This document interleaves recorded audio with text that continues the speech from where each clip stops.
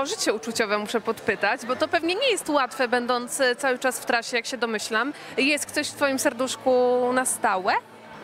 Tak, mój mężczyzna mieszka na Filipinach, już raczej wszyscy o nim wiedzą, ja zresztą nie ukrywam. Boże, ja się nie zbriefowałam. No dobra. Nie no, ja go nie ukrywam jak najbardziej, my jesteśmy zakochani szaleńczo i, i planujemy duże rzeczy ze sobą, a natomiast jest ciężko na odległość, ale na szczęście znalazłam kogoś, kto to rozumie.